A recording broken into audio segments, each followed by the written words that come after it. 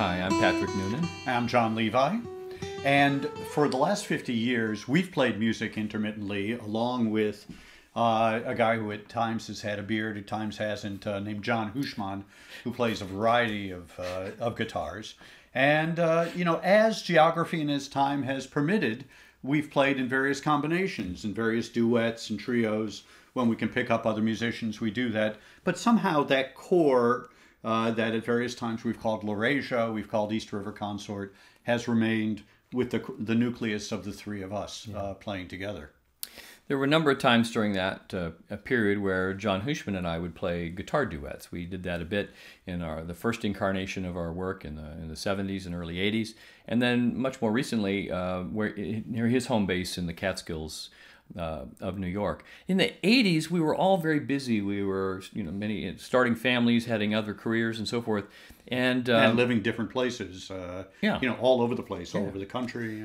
And um, and so there was a break. I think there was a period of a couple of years where John Houshmand and I just didn't didn't play together, and um, I had him up to my uh, home studio outside of New York City, uh, and it was the first time we'd played together in a couple of years.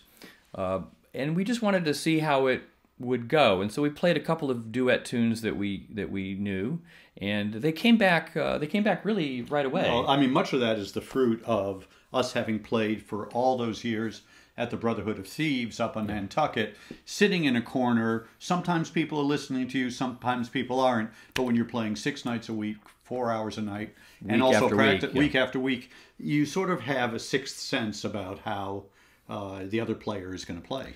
So in that studio session in 1987, uh, in my home studio, uh, after a couple of set songs, uh, John and I just started improvising. And one of the things that emerged from that is a song that I call We Meet Again to honor the fact that it was really the rekindling of our musical relationship after a couple of years of, of hiatus.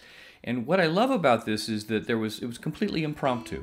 Uh, he just started playing, I followed, we led each other, and we had this intuition about each other's playing and where things would go that a song with a beginning and a middle and an end and a bridge uh, emerged uh, spontaneously. And from, we'd been playing together, it had been 14 years since we first met, so there was just sort of a natural melding. And part of that intuition is to realize that uh, is the reason why now, 50 years later, we're meeting again uh, to put together this album, Brotherhood. Anyway, I hope you enjoyed the, this uh, first listen at our impromptu uh, guitar duet, We.